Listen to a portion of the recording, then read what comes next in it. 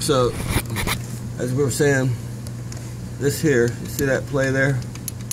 That is indication of a bad lifter or collapsed lifter or broken push rod. I kind of doubt that the push rod itself is broken because I'm going to show you that. This is what's under that. You have this push rod here, okay, which pushes up and down like so. Boop, boop, boop, boop, boop. That's what moves that rocker arm. But under that push rod, you have these lifters.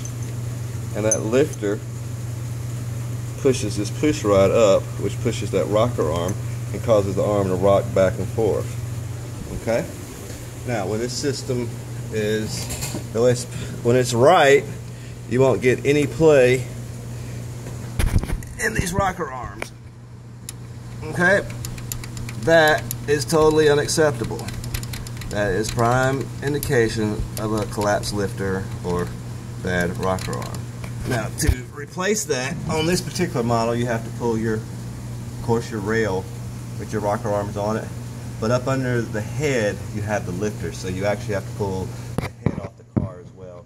Take the intake off, all the other stuff um, that's in the way. Pull the head, the lifters sit right up under it, and they fit down into the block of the motor. But um, that's what I want to show you this evening. If you have any questions or comments, please um, post them. Um, if there's any particular video you'd like for me to do, let me know and I'll show you that too. But again, as you can see, all these are tight except for that one. And that is our problem.